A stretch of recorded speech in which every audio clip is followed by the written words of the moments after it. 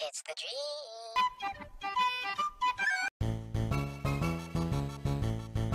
This place has the best food. I love it so much. The burgers tasted way better when I made them. I quit my job last week because Mr. Krabs liked money too much. Too bad. I want more food right now though. I mean, we could always sneak into the kitchen. I still have the keys. Ha, great idea. Let's go. Alright, I'll go to the freezer and get all the stuff to make a ton of Krabby Patties. This can't be too hard, I'll do it on my own. Perfect, the burner is on, now I gotta get the Krabby Patties.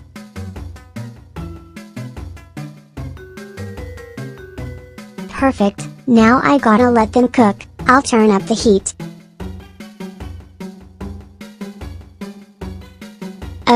This doesn't look so good.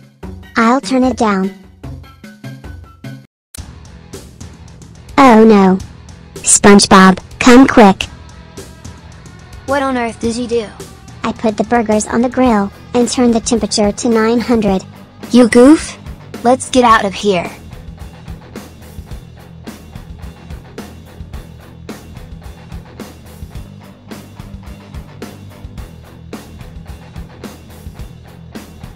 SpongeBob me boy, what the hell did you do in the kitchen?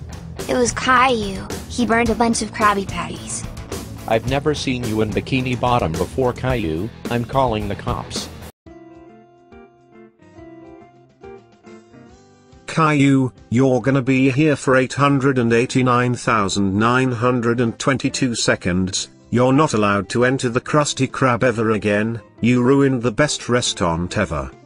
I'm so sorry, I didn't mean it.